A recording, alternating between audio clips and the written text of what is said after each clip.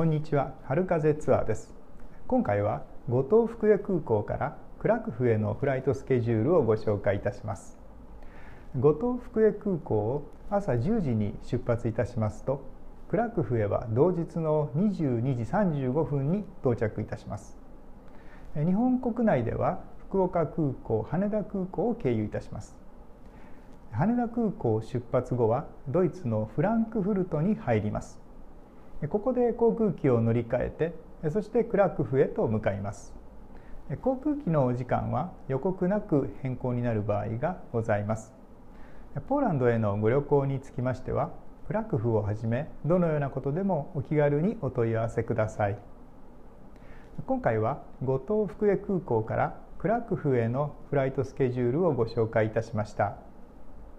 ありがとうございました。